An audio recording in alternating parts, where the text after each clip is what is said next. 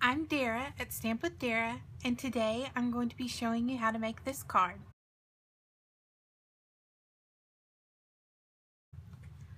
Today we're going to be using the Cheer All Year stamp set.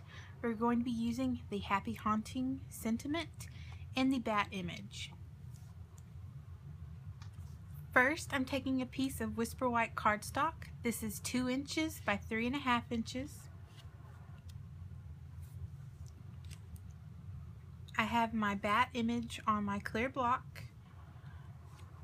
And then I'm going to use the Tuxedo Black Memento ink pad.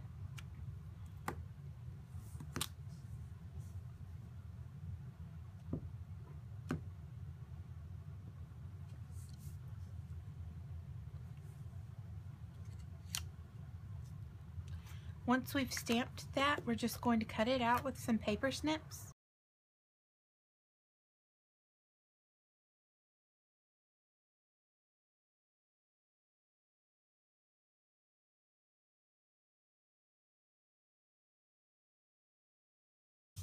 Once we've cut the bat out, we're going to create a background with watercoloring. You need a piece of cardstock that is Whisper White. It's four inches by five and a quarter. And then I'm using the Rich Razzleberry ink pad. Just press down in the center of the pad to create a pool of ink in the lid. I'm going to press down a little more so that we have plenty of ink to work with. I'm using the large aqua painter. Out of the set of aqua painters, there's a medium one and a large one. And today I'm just going to be using the large.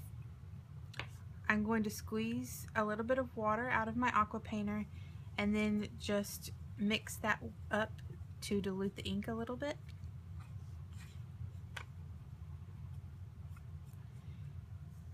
And then I'm just going to brush my aqua painter across my cardstock, just randomly freehanding to create the stripes on the cardstock.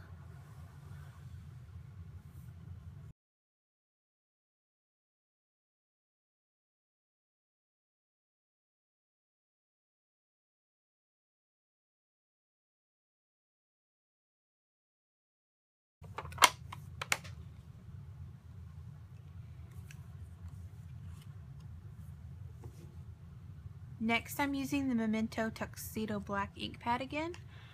We're going to stamp the Happy Haunting sentiment near the bottom.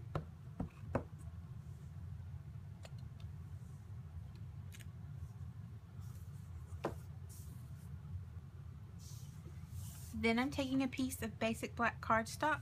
I've gone ahead and used my Stampin' Up! trimmer to score the line here at four and a quarter and I'm just going to fold that in half to create the card base.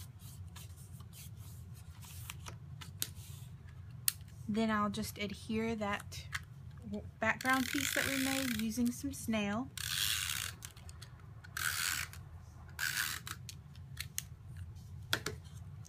And just center that right in the middle of the basic black.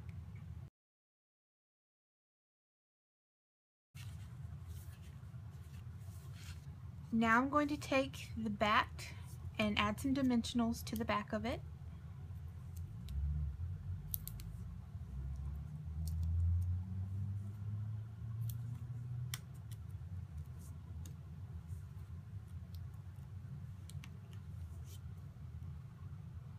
I've cut a piece of the silver thread and I'm just going to run it around my fingers a few times. About four or five should be plenty. And then I will just kind of arrange it a little bit on my card.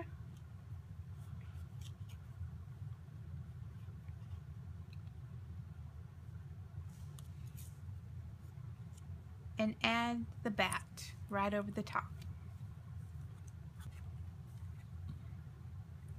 And I don't like the ends sticking out very much, so I'm just going to cut them off so that you can't see them.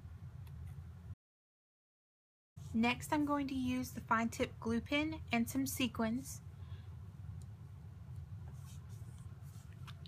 Just going to place a couple up at the top of the bat and then one below down here.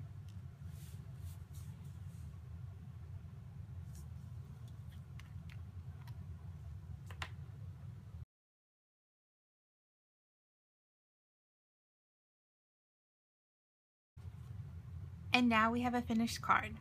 I hope you enjoyed this video. Please subscribe to my channel if you'd like to see other tutorials and have a wonderful day.